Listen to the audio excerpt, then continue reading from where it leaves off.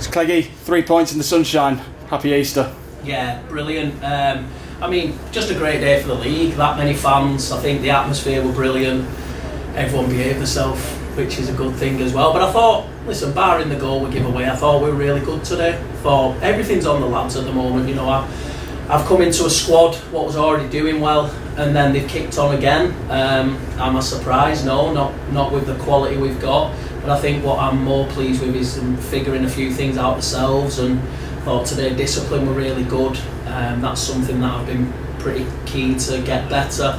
And we scored another goal off a set play, which we've been working really hard on, which is again really good. And I just thought there were some good performances all over the pitch.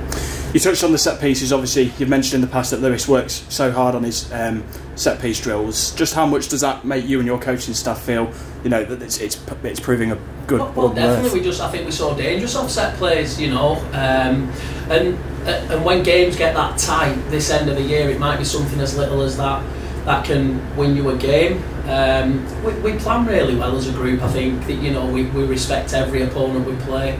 Um, we give the lads videos to watch. You've seen the meetings yourself. Um, so yeah, I think we need to give it everything. Um, we're entertaining a lot more fans now than we used to, and we hope they're enjoying it.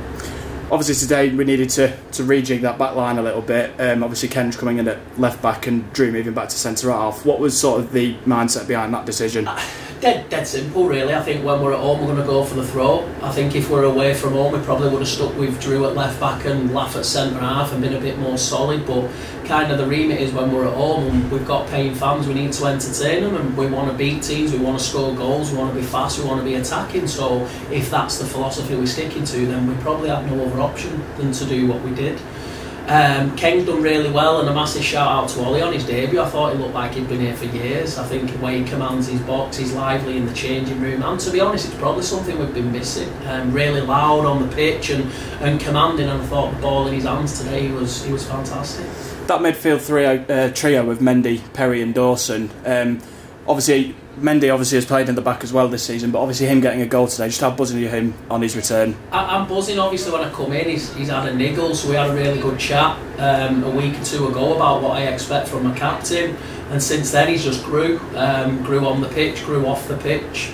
Um, so yeah, he, he, listen, it's really good, and, and, and you know what the lads at the moment ain't getting enough credit for. Just played three games without 44 goals in the team Alex Curran and John Rooney.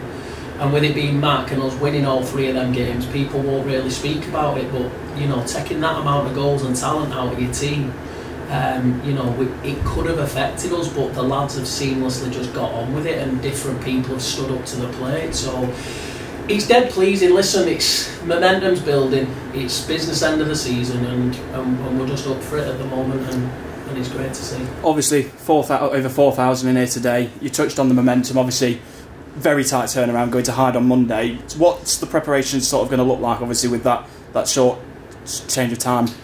The preparations, obviously, from our side is not going to change. We're just going to have to get everything done a, lot quicker um, in terms of the detail we get out before the game. Um, that'll have to go out, you know, in some kind of form. But I think the lads, it's all built on trust. I trust them. You know, they, they're playing at a decent level now. They get paid. It's like it's a lot of people's jobs, if not, you know, part-time jobs. So for me, the, you know, the, there's ice baths in there at the moment. I think I'm hoping everyone eats well, rests, and, and we go to Hyde because they're going to be in the same position as us. But we've got a really good squad, and um, we might be out to freshen it up. Obviously, John Rooney's back, my opinion, the best 10 in this league, so it's going to be a massive plus for us. And I think Rooney's would have enjoyed watching us the last three games because um, he likes goals, doesn't he? And there's been a few going, so I'm just really pleased at the moment. Everything's going all right, but it's football, and um, you're only as good as your last game.